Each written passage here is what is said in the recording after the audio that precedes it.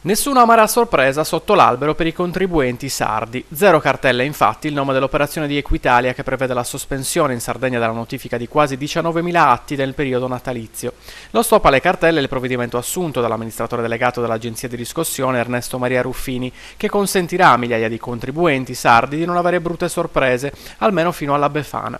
Dal 24 dicembre all'8 gennaio 2017 era previsto l'invio di oltre 22.000 cartelle e avvisi ma per quelli che dovranno ricevere atti, cosiddetti inderogabili, nessun time out. Sono oltre 4.000 infatti quelli che nonostante il Natale si troveranno notificata la loro cartella.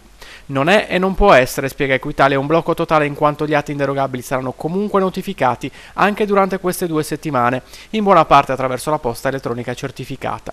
In particolare a Cagliari saranno sospesi 8.804 atti e inviati circa 1.800. Dopo Cagliari e Sassari la provincia col maggior numero di atti congelati, 7.646, seguita da Nuoro 2.045, Oristano con 244 cartelle, avvisi di accertamento esecutivo e avvisi di addebito che non verranno notificati nelle due settimane settimana natalizia.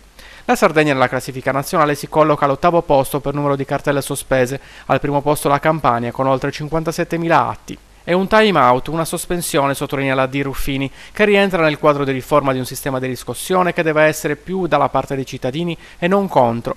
I progetti messi in campo nei 18 mesi della mia guida e col nuovo consiglio di amministrazione dimostrano con i numeri che era stata intrapresa la strada giusta e che si può fare la riscossione e il recupero dell'evasione anche stringendo un patto di fiducia con imprese e cittadini. Una tregua natalizia, un time out per i contribuenti che potranno rimandare le notti insonni a dopo la Befana.